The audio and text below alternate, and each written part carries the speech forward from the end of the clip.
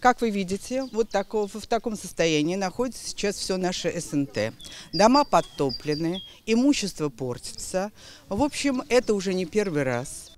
Жителям СНТ «Утро» вблизи деревни Кармолина сейчас приходится нелегко. Они оказались изолированными от мира, и причиной тому послужил отнюдь не коронавирус. Непрекращающийся вот уже который день дождь поспособствовал тому, что река Воря разлилась и затопила все в округе. На данный момент уровень воды на участках от 5 до 60 сантиметров.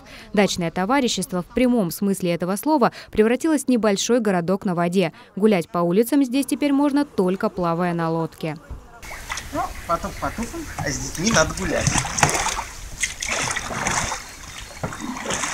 Многие люди пожилые здесь живут как э, постоянно на ПМЖ. И вот у меня родители, им по 75 лет.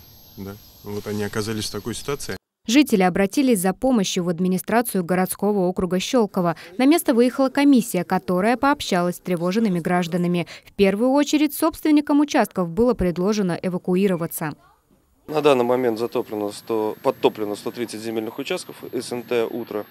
Вот, э, сотрудниками МЧС, Спаса и э, Центра гражданской защиты и службы э, обследованы все земельные участки, предложена э, эвакуация.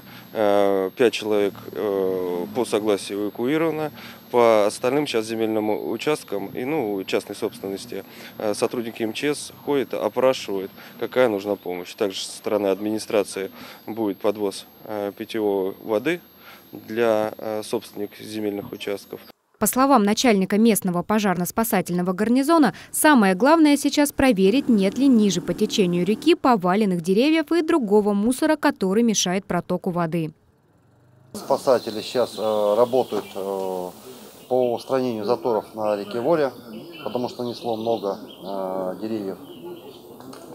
И будем продвигаться к этой проблемной плотине, которая дальше по течению, чтобы разобраться, что, почему там держит воду плотина. По оптимистичным прогнозам, если в ближайшие дни дожди прекратятся, вода с затопленной территории постепенно уйдет. Пока этого не случилось, администрация округа совместно со спасательными службами будет оказывать всю необходимую помощь пострадавшим от наводнения. Мария Буржинская, Александр Рожевский, Игорь Поляков, Щелковское телевидение.